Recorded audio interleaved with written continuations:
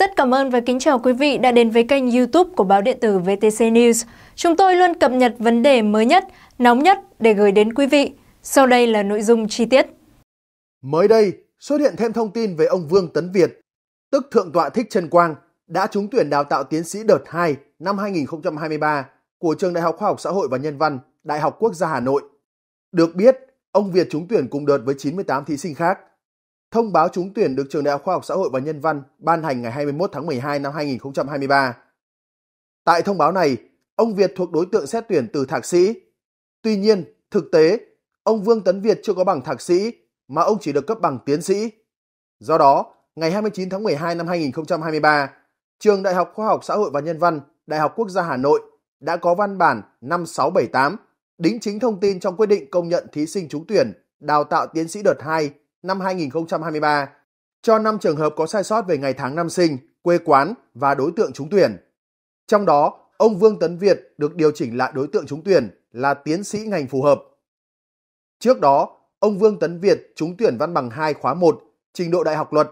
hình thức vừa học vừa làm của trường Đại học Luật Hà Nội, mở tại trường Cao đẳng Bách Việt, thành phố Hồ Chí Minh vào tháng 1 năm 2017, tốt nghiệp tháng 1 năm 2019.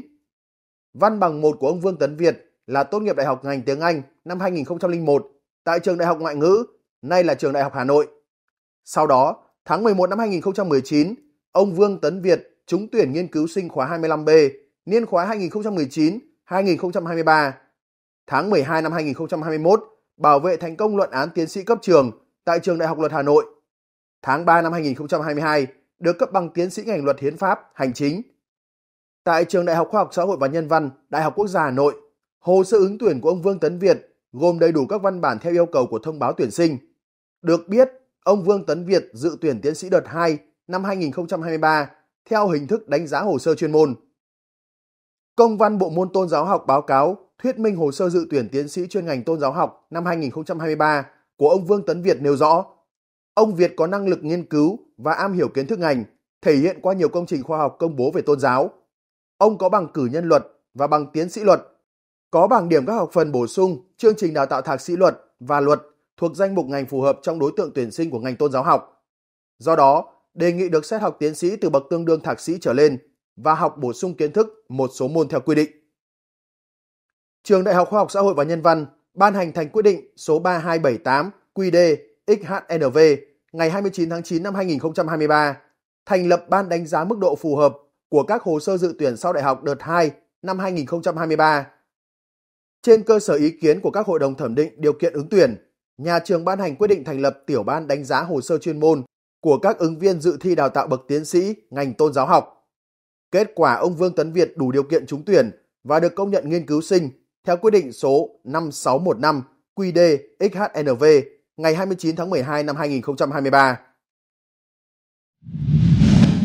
Theo nguồn tin từ báo Công Thương, thời gian qua, trong các bài thuyết giảng trước hàng nghìn người tham dự tại chùa, Thượng tọa Thích Trân Quang đã nói nhiều về nhân quả. Trong đó có một số nội dung gây hoang mang dư luận. Gần đây trên trang Facebook, chúng thanh niên Phật tử Phật Quang Bà Rịa Vũng Tàu đã có đăng tải một đoạn video dài 3 phút 53 giây với nội dung Làm gì khi bị nói xấu, trích bài giảng Tứ Diệu Đế 19, Đạo Đế phần 4 của Thượng tọa Thích Trân Quang ghi lại cảnh ông Thích Trân Quang ngồi thuyết giảng, phía dưới là hàng trăm Phật tử cùng các vị tăng, sư.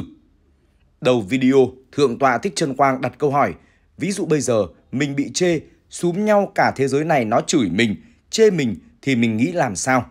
Tại sao mấy người khác không bị chửi? Tại sao mình lại bị chửi? Mình làm điều đúng mà người ta cứ chê, trách, chửi mình là sao?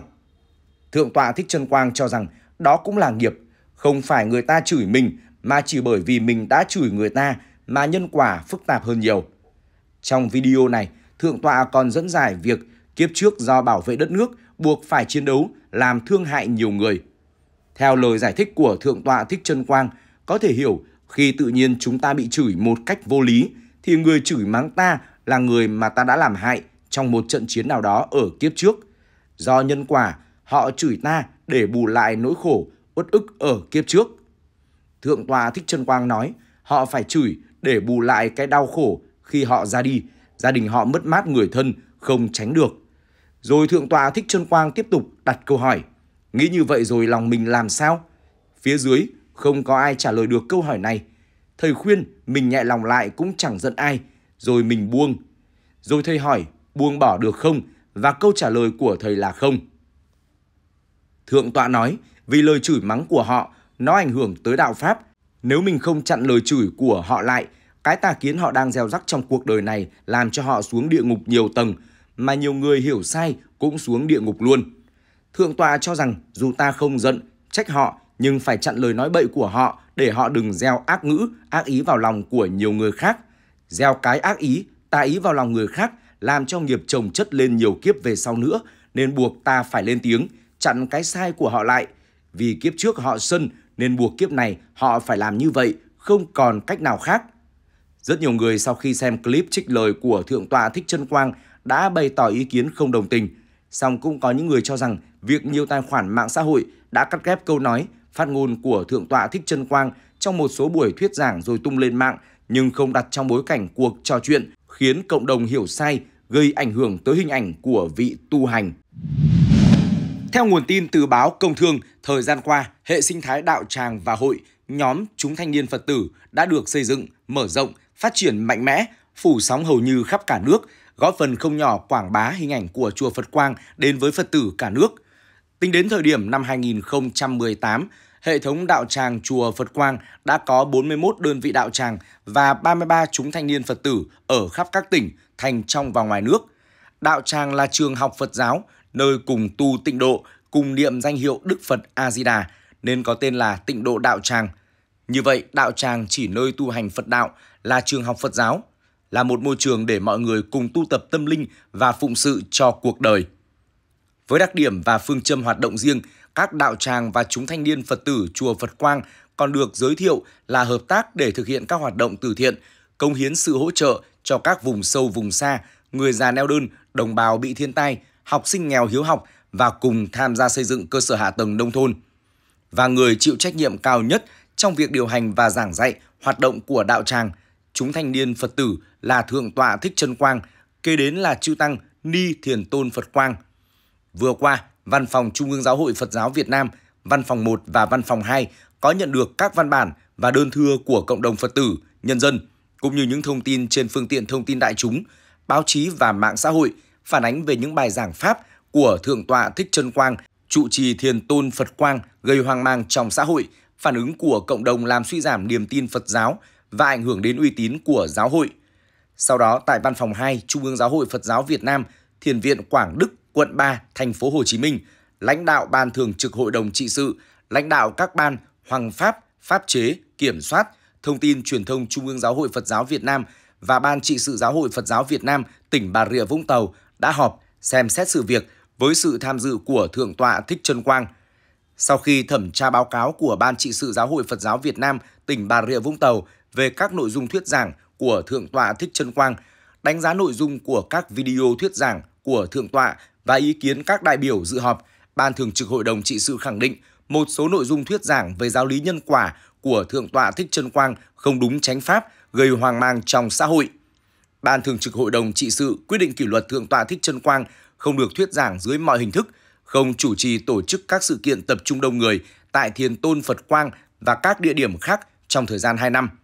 Thiền Tôn Phật Quang và Thượng tọa Thích Trân Quang phải thu hồi tất cả các phái quy y tam bảo có nội dung tự sửa một trong năm giới, không đúng với giới luật ngũ giới do Đức Phật chế trong giới luật Phật giáo, gỡ bỏ tất cả các bài giảng có nội dung gây hoang mang xã hội.